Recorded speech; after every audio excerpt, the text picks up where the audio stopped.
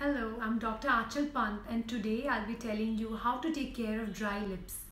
The most common cause for dry lips is licking your lips involuntarily.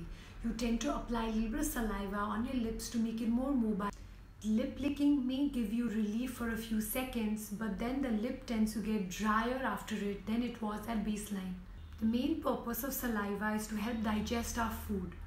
So it has a lot of enzymes to kind of break down the food.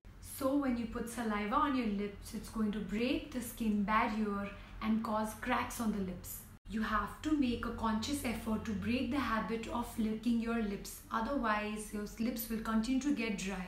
You must moisturize your lips well, maybe every 2 to 3 hours with a bland lip guard.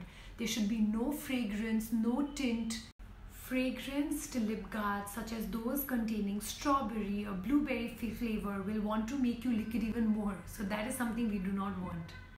So make sure you use something which is bland, fragrance free and tint free. For women who like to use liquid matte lipsticks, make sure you moisturize your lips well before you apply the first coat. If you have thick layer of dry skin on your lips, you can also exfoliate your lips once a week. Apply liberal amount of oil on your lips and gently massage it with a soft bristle toothbrush for about 5 to 10 seconds. This will help in getting rid of the dead skin layer and also make your lips smooth, soft and supple. I hope you found this video useful. For more videos like this, kindly subscribe to the channel.